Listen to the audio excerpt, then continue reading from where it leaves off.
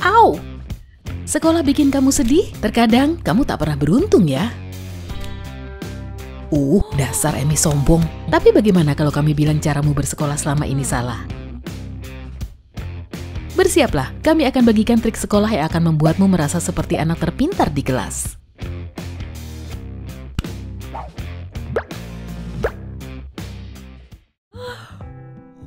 Kenapa kelopak mataku terasa lebih berat di kelas habis makan siang?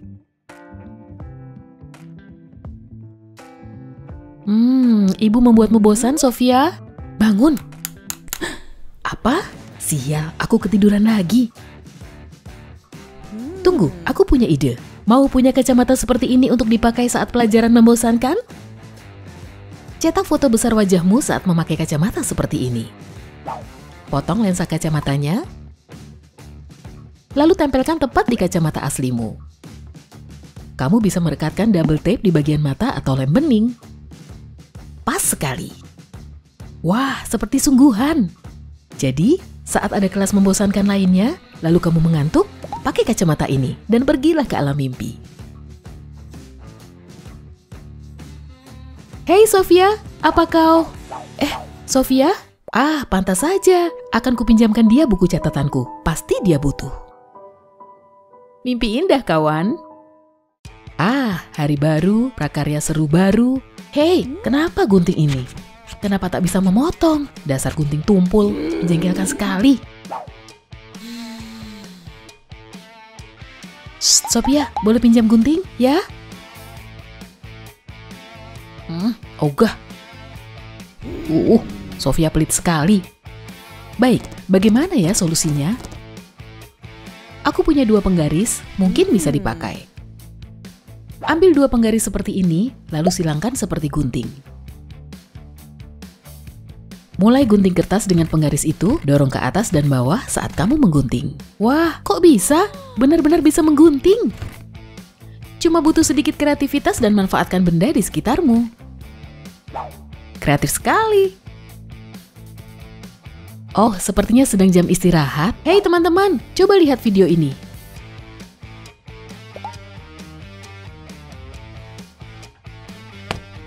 Uh, ini menyebalkan. Tenang, biar aku yang urus. Ah, lupakan, aku tidak bisa.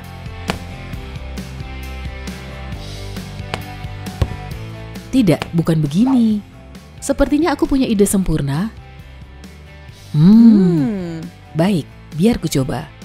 Pinjam klip kertas ini ya. Ini yang kita butuhkan. Tekuk bagian atas klip ke belakang seperti ini, lalu tekuk ujungnya ke belakang juga. Taruh di meja dengan bagian yang ditekuk menghadap ke atas.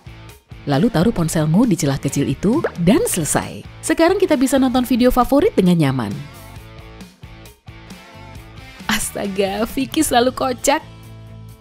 Untuk kelas matematika, Mia yang paling pintar. Aduh, jangan tunjuk aku, tolong. Gawat.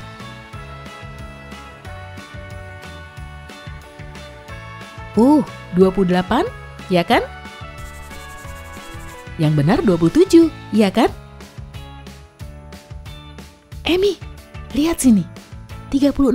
Jawaban selanjutnya 36. Baik, aku bisa. Jawabannya 33. Astaga. Aku sudah mencoba. Biar ku perbaiki. Bu guru, tunjuk aku. Untuk perkalian 9, kamu cukup berhitung sampai 10. Lihat.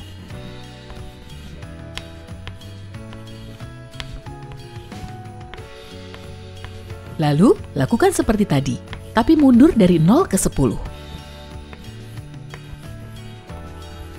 Ah, senang rasanya jawabanku benar. Tunggu, aku tahu sekarang. Aku catat dulu sebelum lupa.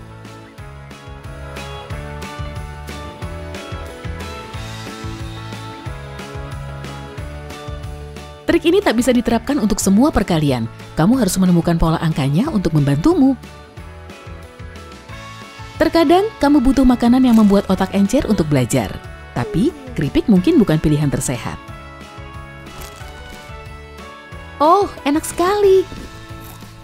Suara kriuk keras itu membuatmu ketahuan, Mia. Jika kamu ingin makan camilan di tengah hari, belajarlah untuk memakannya diam-diam. Tusukkan pulpen atau pensil ke bungkus keripik, lalu taruh antara mejamu atau teman sebelahmu.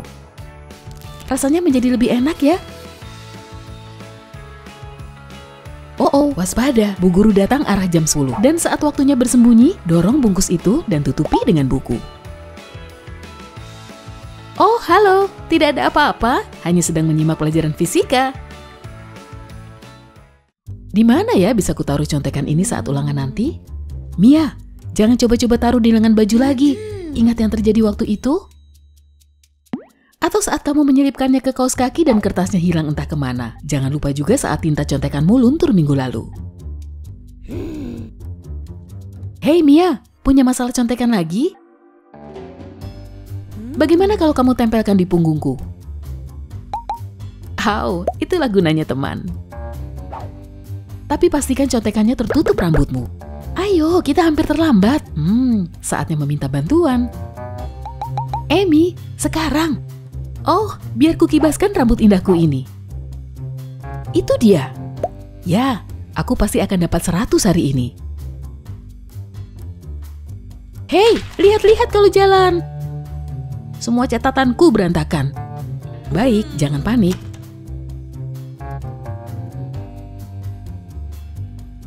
Kurang ajar. Kita lihat apa aku bisa merapikan catatanku. Hei, boleh pinjam stapler itu? Sekarang, kertasku tak akan berantakan. Hmm, kok tidak ada staplesnya?